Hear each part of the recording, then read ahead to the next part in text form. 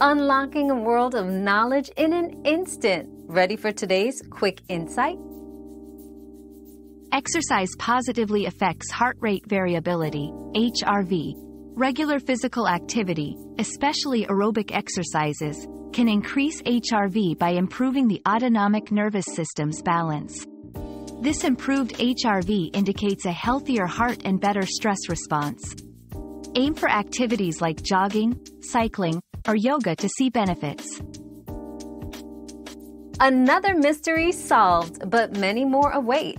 Keep up with our daily discoveries by subscribing and turning on notifications.